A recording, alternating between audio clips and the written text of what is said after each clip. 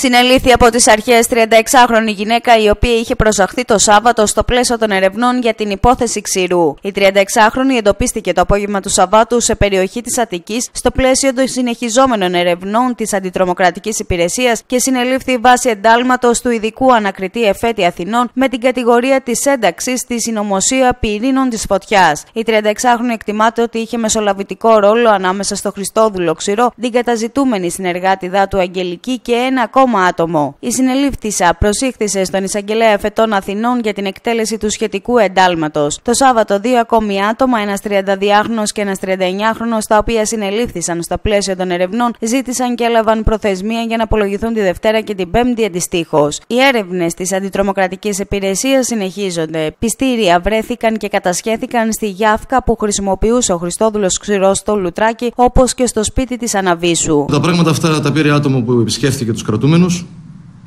και τα παρέδωσε, αυτό είπα και μεσολάβησε, τα παρέδωσε μετά στο συγκεκριμένο άτομο, τον 32χρονο, για να τα δώσει με τη σειρά του στην Αγγελική. Όπως τη έδωσε επίσης. Ναι. Άλλος από μέσα. Θα έχει πάρει μέσα από τη φυλακή.